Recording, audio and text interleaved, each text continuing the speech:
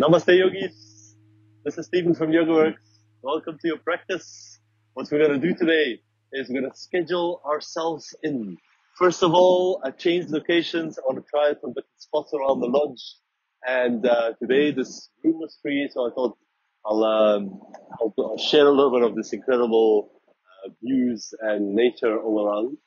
And secondly, how we're we going to schedule ourselves in? Well, first by realizing that often we schedule whole bunch of other things all of the time. We schedule work, we schedule finances, we schedule kids and family and relationships, and we schedule friends, and we schedule other things that uh, are not always topping us up. And what we're going to do today is exactly the opposite. We're scheduling in half an hour practice with the aim of recharging our batteries. We'll be a little bit active, but in a really quiet and sort of down to earth uh, way today. And I invite you to step into this practice with this mindset. You're here to schedule yourself in. You're not here for somebody else or because somebody recommended yoga or because you want to take a picture for Instagram and show it to others. No, this one is just for you. Here, let's start in downward facing dog and immediately start to walk the legs out. So you can straighten one leg and bend the other knee and then alternate so that one at a time, one heel goes a little bit lower. You stretch into the calves, the hamstrings, the whole back body.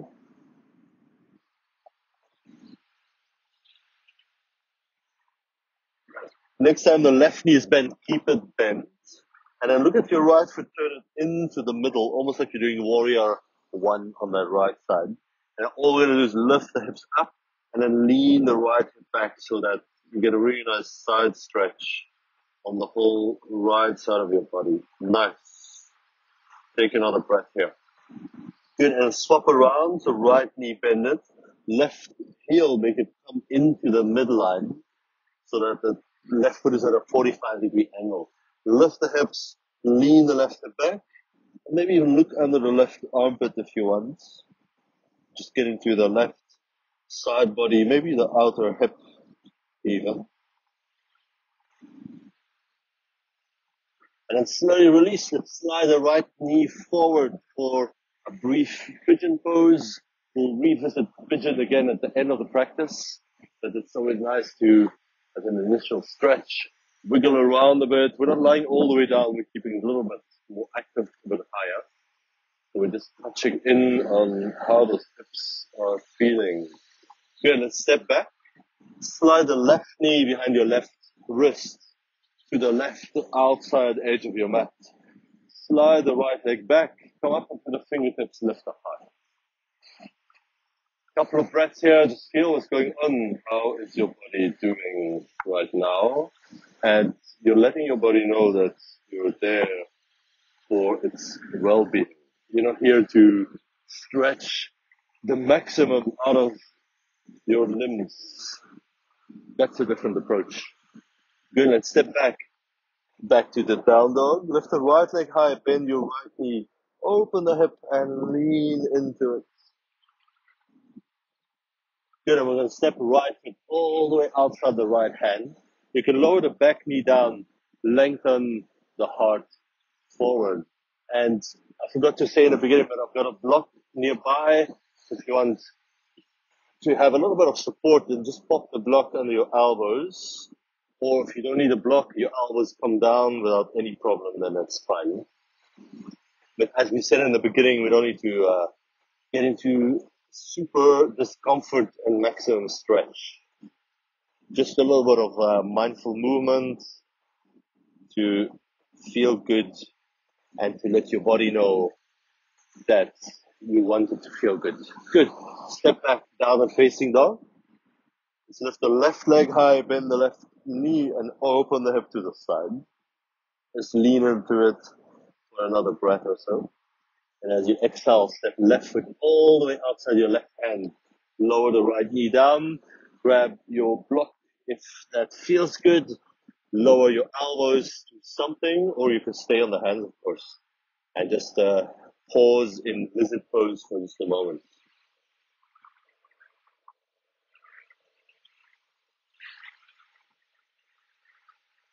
Nice. One more inhale. Exhale, slowly come up. Put the block off to the side if you're using one. Downward facing dog. We're going to walk to the front. Take little steps. Just take your time. Walk slowly to the front of the mat. And then just hang down in a relaxed forward fold. You can hold your elbows if you want. You can bend the knees a bit. Just cascade your body down from the level of the hips. And then such a nice pose to hold a bit longer. If you can tip the pelvis forward. You're sticking the sit bones up. You don't need to straighten your legs to do that. But you can, of course, you can straighten a little bit more if you feel nice and open in the back body. And then let's go flat back. Place your hands on the shins and then reach your chest forward towards, towards the ocean, I was going to say, uh, towards the front of your mat, wherever it happens to be facing. And then stick your buttocks back and lift the belly up a little bit. So this is a flat back, one of my current all-time favorite poses. Good, we're gonna twist this up Bend the left knee a little bit so that left fingertips can come down under your face. Let's lift the right arm up. If you can, straighten the right leg and lean the right hip back. You can look up at the top hand if you can. And open the chest to the side. One more inhale. As you exhale, come down to swap the right hand under your face. Bend the right knee a good amount straighten the left leg as much as you can, and then lift the left arm, reach up, open the chest to the side, and then with the head and the spine, I'm still trying to go forward. Try not to collapse down and round the back. One more inhale, create space, and then exhale, slowly let it go. Bend the knees a little bit. We're going to slowly roll up to standing. No rush. Get to the top. Roll the shoulders a couple of times. And lift both arms. With the right hand, I'm going to hold the left wrist. Take the left arm over to the side into a standing side bend. When I'm here, I always need to watch the front ribs don't pop out. I'm doing my best to keep the front in and then lengthen up and over, pushing the feet down on the mat. Alright, so one more breath here. And then slowly lift up. Get ready for the second side. Left hand holding right wrist and lean over to the left. Guys, I'm pushing the hands down. I'm keeping the front body tucked in so I'm not going to a back bend. And then open the right side. For me, the right side feels quite a bit more um, tense or restricted in the left. I don't know about you. And then lift arms, exhale, forward fold over the legs. Inhale, halfway lift, lengthen the chest forward, and then exhale, step right foot back and lower the right knee down. Nice. Lift arms, one breath in a low lunge, and then lower the hands down and pull the left hip back. And just linger here for another breath or two.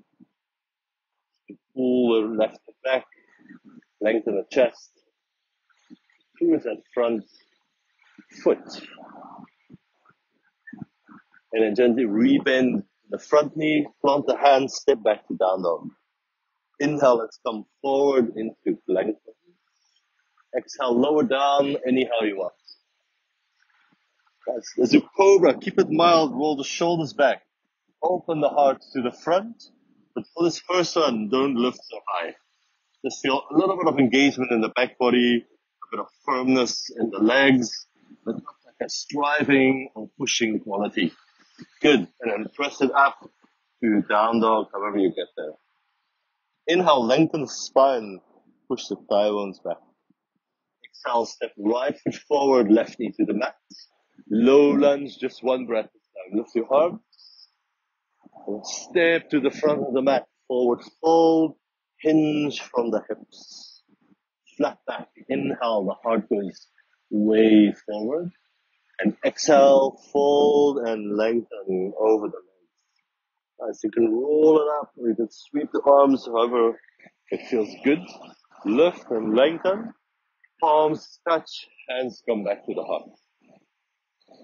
Good. Second side. Here we go. Inhale. Breathe in. Some new fresh air, some new possibilities. Exhale. Follow the breath down. You can always bend the knees a bit. And then inhale, flat back. Lengthen.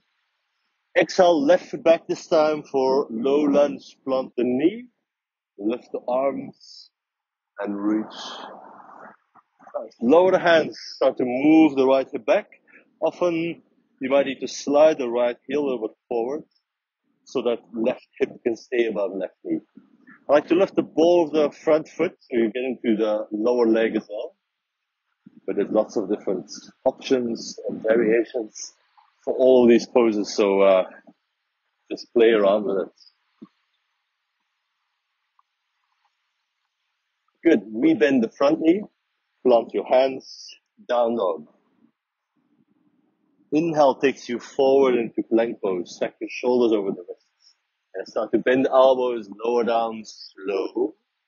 Another one of those mild, feel good cobra poses. You can always roll the shoulders back and down your back. Lengthen the heart forward. Now don't throw the head back. You're going to squeeze the back of your neck. And you're going to sound like this when you try to talk.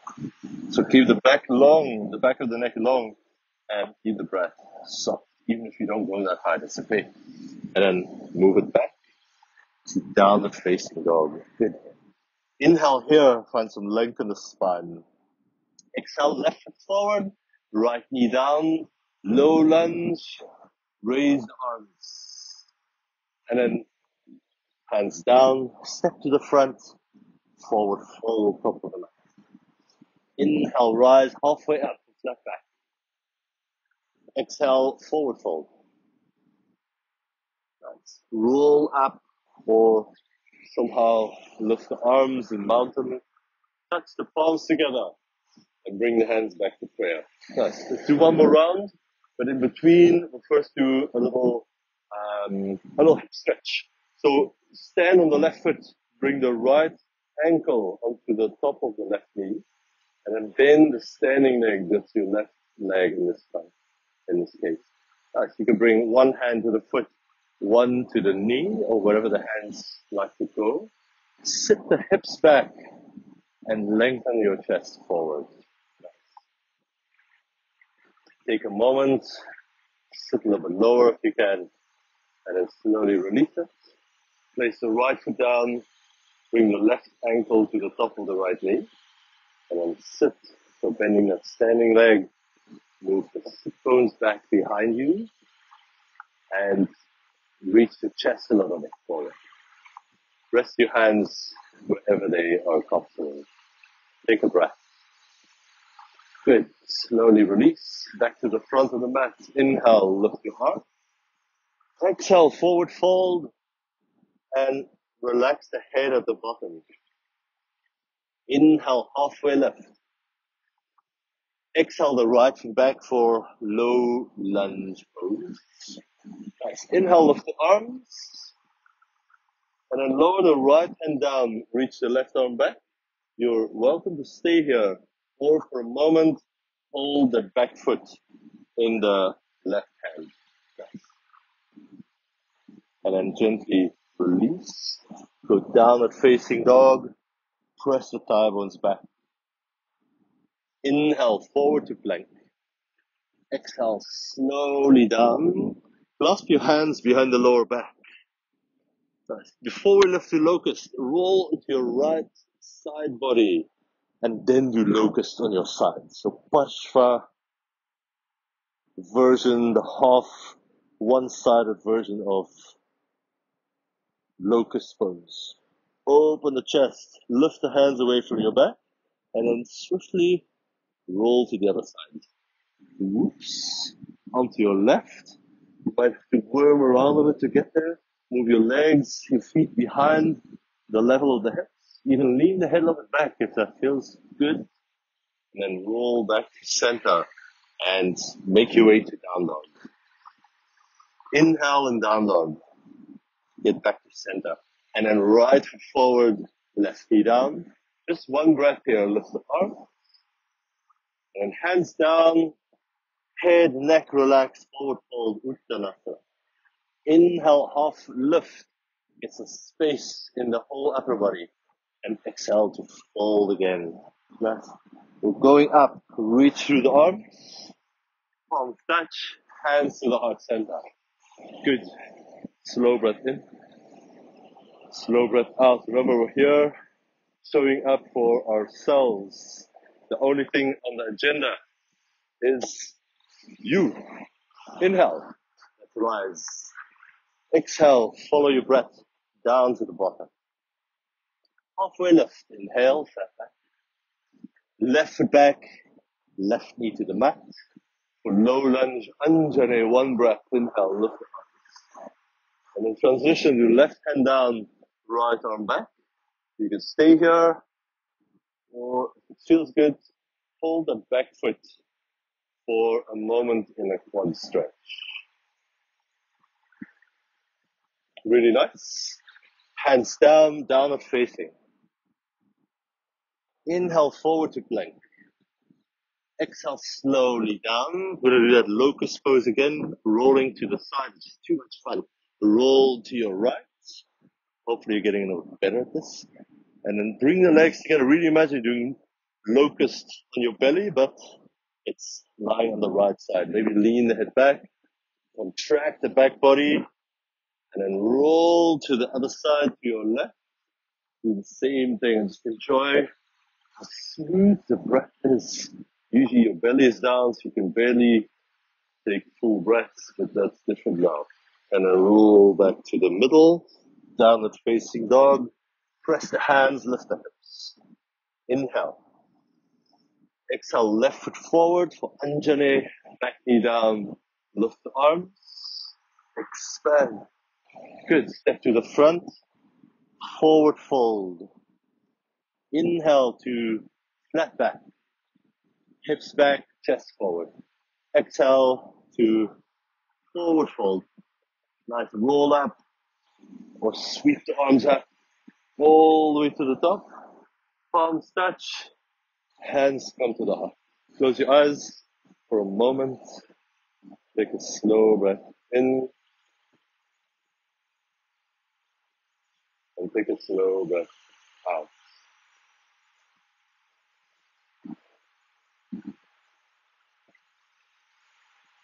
I can step the feet wide. You can turn to any side that feels uh, better for you or easier. And then parallel your feet. You're gonna fold forward, and in the first moments here, keep the a little bend in the knees and hold opposite elbows. A bit like the ragdoll version of the wide-legged forward fold. Take a moment to you're steadying the legs, and as much as possible, relax your upper body. Let the head traction the spine longer, just because of its weight, not because you put in so much effort.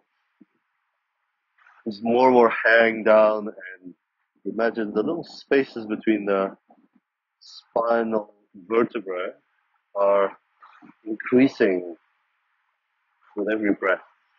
Nice. And then release the hands down, turn the toes out just a little bit, and I'm going to sway to the left, bending the left knee and straightening the right leg. Nice. Just stay here for a little moment. You have to change anything, we're just pausing. Later we'll do this a bit more uh, dynamically. Good. Then sway to the other side. So your shoulder somewhere inside the right knee. Your hands can go wherever you need to support. Right into the bend. Left leg is straight or straight-ish. And you're just sitting a bit lower with the hips. Yes. Now let's sway side to side. Go over to the left and then go over to the right. Nice. Find a nice rhythm breath as you close your eyes if that feels good and just sway with one leg to the other leg, always straightening the opposite leg you're moving away from. Mm, keep the breath soft, keep the head heavy, keep the shoulders relaxed. Nice, not Four, three, two, and one. Now slowly come to a stop in the middle. Let's turn the right toes out a little bit more. Bring the right elbow, or I just realized I'm not mirroring you. Um, for me, it's the left Just do one side and then we'll get to the other side. So I'm pressing the left knee away with that left elbow and I'm softening the hips down as far as they go. So now we're getting to that right inner thigh in a big way. But remember the theme of the class, we're uh, scheduling ourselves in, so if it feels really stressful and too tight, we're gonna have to modify that pose a bit. We'll just come out a little bit. Good, over to the other side, straighten the left leg, bend the right knee. I'm placing the elbow inside the thigh to apply a little bit of outward pressure. And then start to soften the hips down.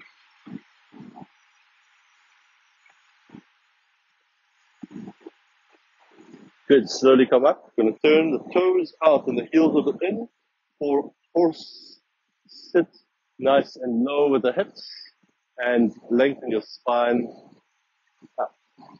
Right, we're gonna place the hands on the knees or a little bit on the insides.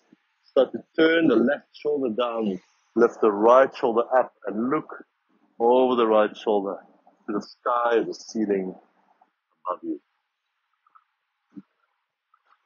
Good. We turn to the middle and go straight to the other side. Right shoulder down, left shoulder up. Keep bending the knees a lot and pushing the knees back with your hands. That feels so good. We're going to do one more to each side. Left shoulder down, right shoulder up. Rotate around the spine. Quite a nice twist for the upper body. And then right shoulder down, left shoulder up. Rotate to the left. Now release that and squat inside your left leg. You can stay a little bit higher up, this is okay. Or you can squat all the way down inside his left knee. For me, it feels better to lift that heel. Just a bit more space for the, the calf muscle in the Achilles there. And then you can lift the right toes up as you straighten the right leg. This is Skandasana the surface pose. There's actually often surface here, and I've never seen him do this pose, but uh, maybe it's not advanced enough, or uh, I haven't seen I haven't seen this in the water. Seems quite difficult to do this on a surfboard? And then sneak over to the other side, squatting inside the right knee, straighten the left leg, the left toe up, and then I like to pin that right knee a little bit more open with the right elbow so that the, the thighs are moving away from each other. One thigh is going that way, one thigh is going the other way.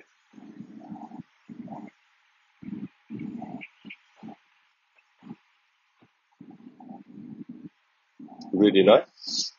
Slowly release, come back to your hands at the front of the mat for downward facing dog. Inhale into pose. And then just lower the knees here and hammer the hips down. Just hang and even sway side to side a little bit. You can untuck your toes if you want. Just soften the front of the hips.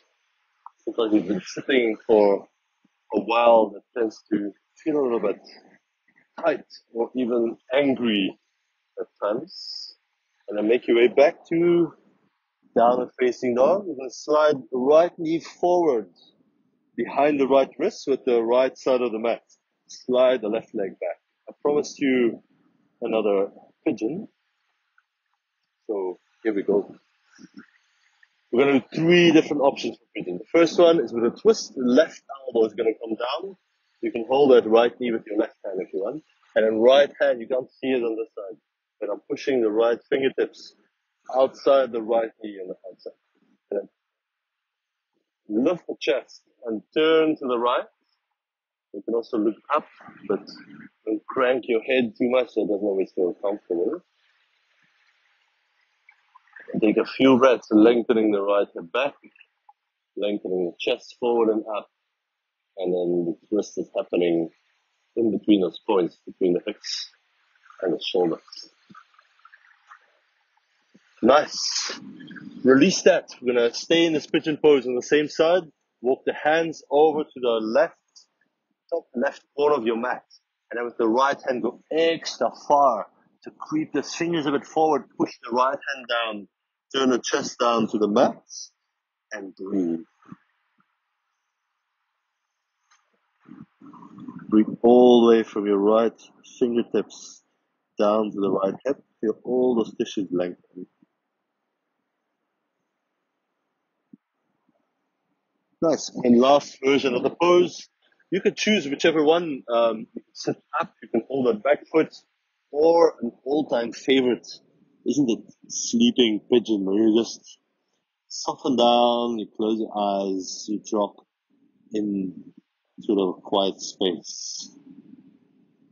Just observe how your body's feeling. There's still a strong stretch, but in the other parts of your body be quite relaxed, including the forehead, your belly, your shoulders, any other pockets of resistance. Hmm. Good plant the hands. Slowly make your way back to down dog. You can always walk the legs out or move any way that feels good. And then left knee. Place it forward for pigeon pose on the second side. Reach the right leg back.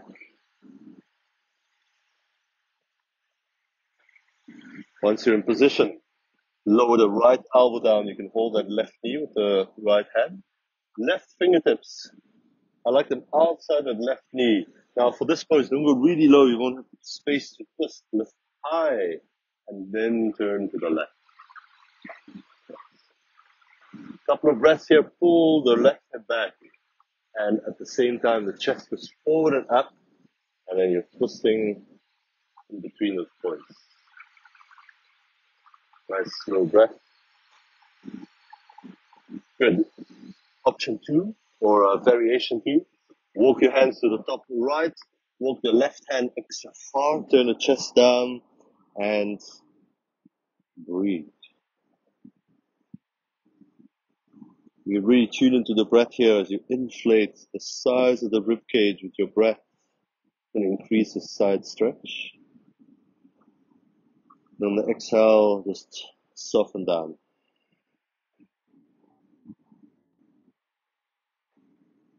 And then third option for the pigeon pose, I'm just gonna go straight down the middle, rest my forehead on the hands.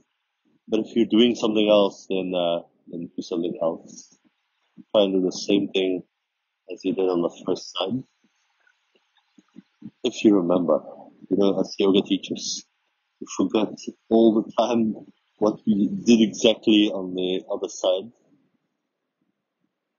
So if you forget, um, we're on the same team.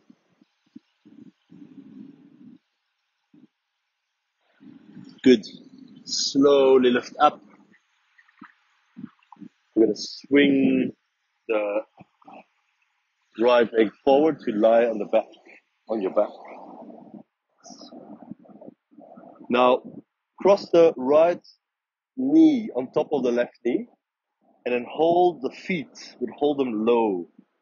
So you're just holding the feet next to the hips, the legs are lightly squeezing together. But overall, should feel like a really easy pose. You're not even sure you're stretching anything, and that's fine. If this is too much, I forgot to say, you just hold the knees and pull them in. That might be a good alternative if the feet are out of your reach today. And then just uh, don't worry for a second if you're holding your feet, your knees, or even nothing at all. It's great. From the shoulders, feel your back on the mat. Feel the breath in your lungs.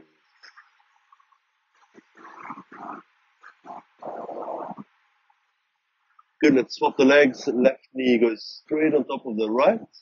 Hold the feet or the knees if you want. knees are going to be a little bit easier to reach. And then rest down. You're just draping your arms from the feet. You're keeping the feet close to the hips. There's other options that are way deeper stretch, but sometimes there's just no need to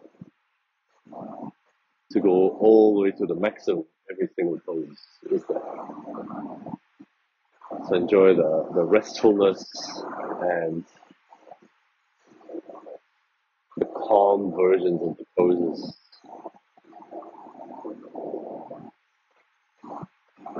And then gently release. Come up to sitting. If you want to do a Shavasana, this is a good time to switch off the video and uh, go straight into some rest on your back. Otherwise, if you have things to do, places to go, then you can end the practice together seated. Just sit, rest your hands, lengthen the spine relaxed shoulders and face. Close your eyes for a moment, just sit. Just feel what is uh, available. Feel the feeling of being in your body. And feel the sense of appreciation. You came to mat, you scheduled yourself and you kept it calm and positive. And hopefully you feel amazing. Hopefully you do this practice many times or similar practices whenever you feel you could benefit from it. And place your palms together. Touch your hands to your forehead, to your heart. And bow to the wise guide inside. Yogis, thanks so much for practicing. Namaste, everybody. Well done and have a good one. See